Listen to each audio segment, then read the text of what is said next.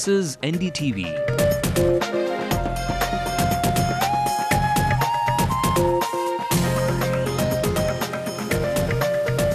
And you're watching NDTV Hindu.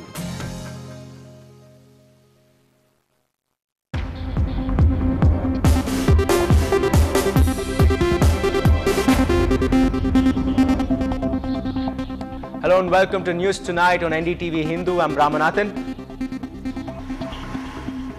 I'm Shabir Ahmad and I'll bring you all the latest on the CSK raid. Well, we will be joined by my colleague uh, Shabir Ahmed soon with the top stories we are following tonight.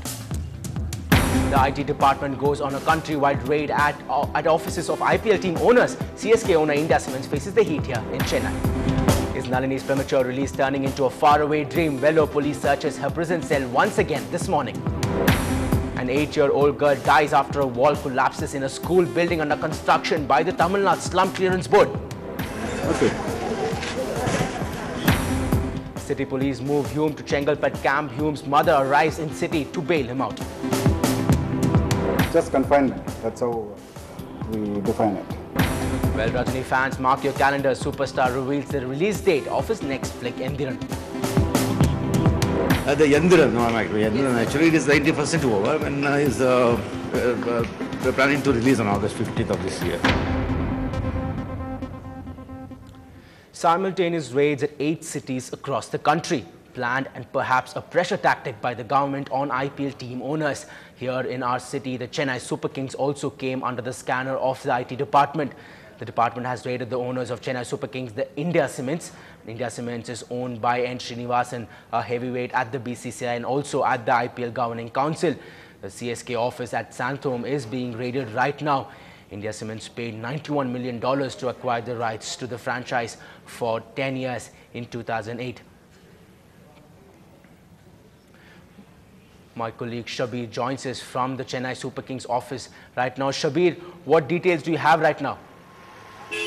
Well, uh, it has been several hours and uh, uh, the raid is happening uh, uh, till now and uh, right you can see behind me the situation is pretty much the same uh, since uh, uh, evening and uh, there has been not even a single information passed out to the journalists who are waiting here for a very long time uh, uh, nor from the IT department officials or from the from the India Cements uh, office here. And do we, we know that more than uh, uh, four to five teams are inside and the raids are being carried out at the finance department. Basically the raid is focused on verifying the documents. That is what uh, sources have been telling us because uh, uh, this is the the raids and the searches are at a very preliminary stage. That is what we have been hearing from our sources because first of all they wanted to know what kind of irregularities has happened uh, uh, in this whether there is uh, any kind of irregular, irregularity in this entire episode. And that is what perhaps the IT department officials are focusing right now. And we have not got any official confirmation as in what is happening inside uh, uh, from the office sources here uh, uh from the CSK office sources but uh, we are waiting for uh, there may be some kind of details emerge later uh, eh, in a short while from now that is what we have been waiting since evening to know what is happening inside Ramanathan. Thanks, Shabir, for joining us from uh, the spot where the raids are happening. Well, not only the CSK, but the offices of the Kolkata Knight Riders was also raided. The raid was conducted inside the premises of the Cricket Association of Bengal. A notice has also been issued to Kings Eleven Punjab for submission of all documents and papers to the IT authorities. There have been other raids too. Income tax officials raided four places in Mumbai. The raids were conducted at the offices of Multi-Screen Media and World Sports Group. Now, after an exit formula being worked out for, the, for him by the BCCI, Lalit Modi has hit back at the BCCI and has blamed the council for all the decisions taken. In a letter dated April 14th, Lalit Modi has reportedly asked for permission to reveal the breakup of all the stakeholders involved in the IPL franchisee. He says he was denied the permission.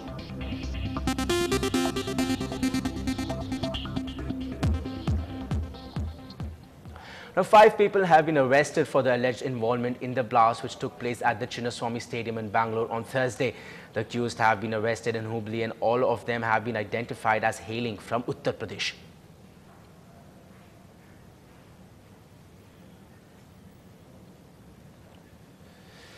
In other news, the startling claim by Vellore prison officials that a mobile phone was seized from Nalini Sriharan's cell has created a flutter in Tamil Nadu. Sources say calls were made to Canada and the UK from, from the seized phone. The issue rocked the Tamil Nadu Assembly as the Congress demanded a thorough probe. Shabir Ahmed reports. A fresh search at the Vellore prison, a day after officials claimed to have seized a mobile phone from the cell of Rajiv Gandhi assassin Nalini Sriharan. And an echo inside the Tamil Nadu Assembly. Furious Congress MLAs alleged that calls were made to Canada and the United Kingdom, where it is believed LTTE sympathizers are still active. The DMK ally has cautioned the state government about a new threat from militants probably in touch with a life convict and has now demanded that Nalini be kept in solitary confinement.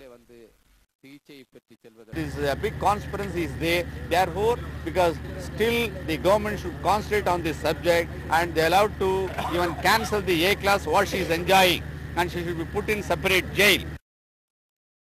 However, the pro-Tamil outfits are not ready to buy this argument. They accuse the police of conspiring against Nalini's premature release. Uh, cannot uh, get a uh, mobile phone. Uh, there is no possibility of getting uh, SIM cards. So I suspect a foul play to uh, stop her early release. With Shabir Ahmed in Chennai, Sanjay Pinto for NDTV Hindu. The Tamil Nadu government today announced that it will nominate its representatives to a five-member committee appointed by the Supreme Court to look into the various aspects of the Mullai Periyar Dam dispute. Making the suo moto statement in the Tamil Nadu Assembly, Chief Minister Karunanidhi said that after discussion with the Advocate General and considering the importance of Supreme Court verdict on the issue, the Tamil Nadu government has decided to nominate its representatives. The Chief Minister also informed that the central government had requested the state government twice to nominate its representatives in the five-member panel. Former Supreme Court Judge Lakshmanan will be representing in the panel on behalf of the Tamil Nadu government. Uh, meanwhile, the Kerala government has already appointed retired Apex Court Judge K.T. Thomas in this panel. Now, after a court in Chennai granted bail to Dutch national Will Hume, the police have restricted his movements by sending him to a detention center for foreigners in Chengalpet. Our crime reporter Salim explains the reasons behind this move. Dutch national Will Hume, charged with sexual crimes against children, was let out of Pulal prison. His mother flew into Chennai from the Netherlands to bail him out. But her effort only saw her son being sent from prison to a detention center in Chengalpet. He is not missing, he is being uh, confined under 32E of the Indian Foreigners Act.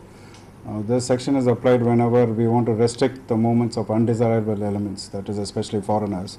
And since he also has a criminal case, we have confined him under that section. He's been lodged in the Chengalpet uh, special camp.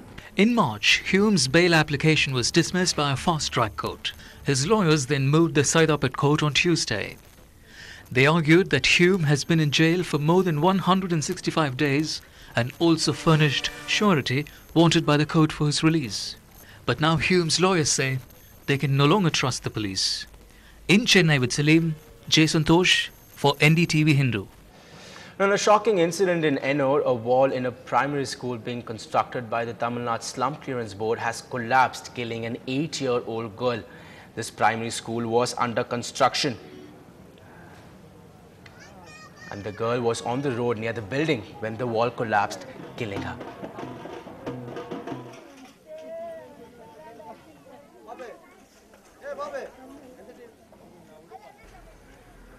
Eight-year-old Ashwini preferred to take this route and that's when the school wall collapsed. Ashwini was immediately rushed to the government uh, hospital nearby but succumbed to the injuries. Most of the people living here are fishermen. They were actually living along the national highways uh, in, uh, in Thiruvottiyur and were relocated to this place called Tsunami Nagar by the Tamil Nadu Slum Clearance Board. Now this project is being carried out at a cost of 90 crore rupees. This uh, project is being funded by the World Bank. Now the problem here is this may look like a strong construction, but this is actually not. The police have registered a case under section 304A of the Indian Penal Code and are on the lookout for the contractors who are absconding. Now, this is a shame for the Tamil Nadu Slum Clearance Board and the contractors that they have roped in. Up next after this short break, has Chennai stopped caring for its elders? Find out more on the other side.